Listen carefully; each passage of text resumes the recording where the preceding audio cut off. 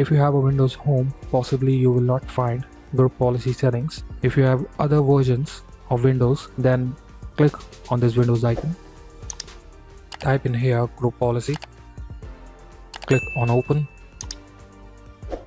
Here you need to enter in the file location and computer configuration. Click on Windows setting. Click on this arrow. Here look for security settings.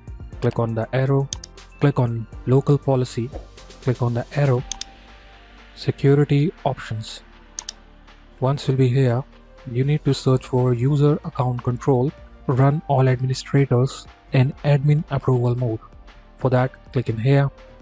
Click U user and search for user account control run all administrators in admin approval mode.